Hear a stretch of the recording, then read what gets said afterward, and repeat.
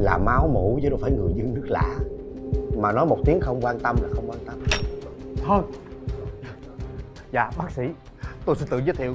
Tôi là ba của bé thơ. Cháu tôi vẫn sống chứ. Gia đình em có điều kiện không có lo chuyện tiền bạc đâu. Bác chữa cho con em đi bác. Con bé là tuổi ăn tuổi lớn. Phải cho nó đầu óc thoải mái vui chơi chứ bắt nó học hoài rồi bây giờ nó như vậy.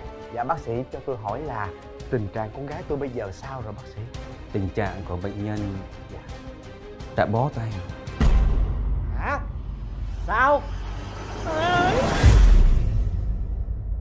Xin lỗi cho tôi nhiều chuyện một chút. Cháu có phải là con riêng của chị không? Cháu mình mình nhận con mình mình nuôi. Dòng máu đâu có quan trọng. Mình.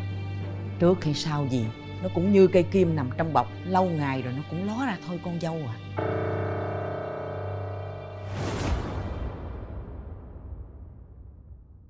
Làm việc tốt mỗi ngày với Kun là gì? yeah, đứng lại.